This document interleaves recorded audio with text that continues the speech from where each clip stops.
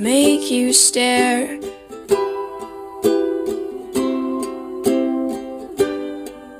I'll hide my chest and I'll figure out a way to get us out of here.